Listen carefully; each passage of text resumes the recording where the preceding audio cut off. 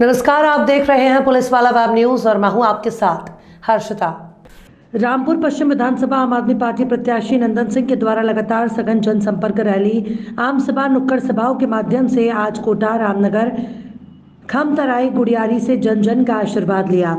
इस अवसर में आम आदमी पार्टी प्रत्याशी नंदन सिंह का क्षेत्रवासियों ने जगह जगह पर भव्यता के साथ फूल माला और आरती के साथ स्वागत किया। आम आदमी पार्टी रायपुर पश्चिम प्रत्याशी नंदन सिंह ने कहा कि लगातार क्षेत्र में जिस प्रकार से आमजनों का रैली और जनसंपर्क में विश्वास देखने को मिल रहा है, निश्चित ही आम आदमी पार्टी और मैं सभी के विश्वास पर खड़ा होकर लगातार काम करते रहूँगा। आम आदमी पार्टी में जो गारंटी छत्तीसगढ़ वासियों को दी है उन्हीं गारंटी पर लोगों का विश्वास बढ़ता दिख रहा है और लगातार क्षेत्रवासियों का भरपूर आशीर्वाद मिल रहा है। इस अवसर में मुख्य रूप से पार्टी के वरिष्ठ पदाधिकारी और सदस्यगण भारी संख्या में उपस्थित रहे। आज सरोना क्षेत्र में आपका जनसंपर्क हो रहा है। यहाँ के जनसंपर्क में क्या आपको कैसा लग रहा है कि यहाँ का समर्थन आपको कितना है? ये हमारे बहन लोग हमारे अम्मा लोग बैठे हैं। हमारे भैया लोग और बच्चे लोग भी हैं। तो हम लोग ये मोहल्ला सभा ही करते हैं। ये घर में सभा है और मोहल्ला सभा इसको बोल सकते हैं। और मुझे, मैं लगभग अभी तक 200 से ज़्यादा मोहल्ला सभा कर चुका हूँ और अभी तो इधर बहुत सारे मोहल्ला सभा और भी किया। छः महीने से मोहल्ला सभा कर रहा हूँ। दो साल से लोगों के घर में डोर टू डोर जा कर के जनसंपर्क कर रहा हूँ। और सभी का जो है मुद्दा है कि इनको जो, जैसे बहुत एक अम्मा बैठी हैं मेरे सामने उन्होंने बोला कि उनका निराशी ही नहीं बना अभी तक। तो वोट देने के लिए उनका अगर वोटर कार्ड बन सकता है तो निराशी क्यों नहीं बन सकता है?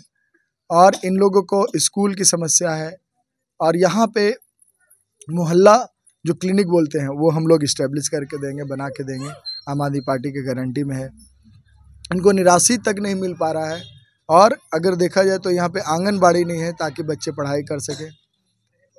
कहीं पे भी हमने वादा किया है कि सभी जगह पे महिला सुरक्षा के लिए हम लोग कैमरे लगवाएँगे। तो मैं वादा करता हूँ कि हर एक जगह पे सार्वजनिक जगह पे कैमरे लगवाएँगे। जो अवैध नशाखोरी बहुत तेज़ी से बढ़ा है, उसको एक महीने के अंदर ख़त्म करेंगे। ये सब जब हम इनसे बातें करते हैं, हमारी दीदी लोग, माताओं लोगों से, बहनें लोगों से, भाई लोगों से तो ये लोग बहुत ही खुश होते हैं कि एक मौका हम केजरीवाल जी को देंगे, झाड़ू छाप को देंगे नंदन सिंह को देंगे। और लोग तैयार हैं और पश्चिम की विधानसभा इस बार बदलाव करने के लिए तैयार है और मुझे हम लोग विधायक बन के आएँगे और इनके लिए काम करेंगे। जनता दूसरी पार्टी को चाह रही है और तीसरी पार्टी के रूप में वो आपको चाह रही है तो क्या आप उनके लिए खड़े उतरेंगे? हाँ दो सौ परसेंट। मैंने वादा किया है क्योंकि आम आदमी पार्टी गारंटी बोलती है सिर्फ़ वादा करके कांग्रेस और बीजेपी वाले ऐसे नहीं है। पंद्रह साल बीजेपी राजकीय बहुत सारे वादा करती है, फिर वादा कर रही है जो पूरा नहीं करेगी। ये सबको पता है। कांग्रेस जो है, छत्तीस वादे बोली कि करेंगे। एक वादा आप जो लाइट के सामने बैठे हो, बिजली वादा करी थी, कि आधा करेंगे। बता दीजिए, जिसको 500 बिजली बिल आता था 700 आ रहा है। यहाँ पे बहुत सारे दीदी लोग बैठे हैं, पूछिएगा आप। आप लोग ज़रूर पूछिएगा। बिजली बिल बढ़ के आ रहा तो आधा कहाँ हुआ? आम आदमी पार्टी बोलती है कि ज़ीरो बिजली बिल आएगा तो पंजाब और दिल्ली में ज़ीरो बिजली बिल आ रहा है। तो छत्तीसगढ़ में भी ज़ीरो बिजली बिल आएगा। तो हम लोग वादा नहीं गारंटी कर देते हैं और हमने बहुत सारी ये गारंटियाँ दिया है। और इस बार मौका आम आदमी पार्टी को मिलेगी और बहुत अच्छे से हम यहाँ जीतेंगे और इन लोगों के लिए बहुत सारे काम करने हैं मुझे।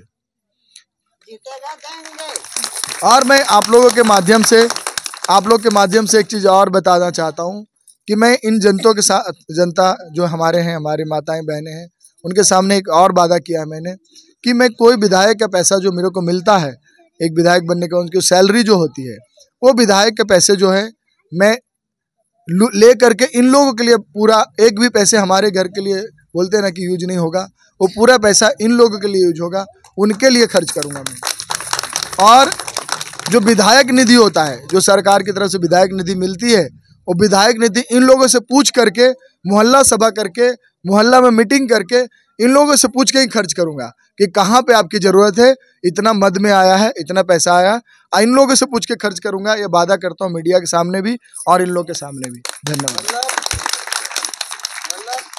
आम आदमी पार्टी का विधायक नहीं बनेगा विधायक हर मोहल्ले से एक बनेगा। हाँ आप समझिए एक नहीं बनेंगे सब बनेंगे। ओके हम तो सबसे पूछ के काम करेंगे। जैसे आज यह मोहल्ला सभा हुआ है ऐसे हम जीतने के बाद भी हर एक महीना मोहल्ला सभा करेंगे। जब भी पैसा आएगा, जब भी पैसे आएगा, हमारे सरकारी सरकारी फंड में पैसा आता है, विधायक निधि में पैसा आता है, उस पैसे को इन लोगों से पूछ के ही खर्च करेंगे। ये मेरा वादा है और ये मैं लिखित में भी दे रहा हूँ।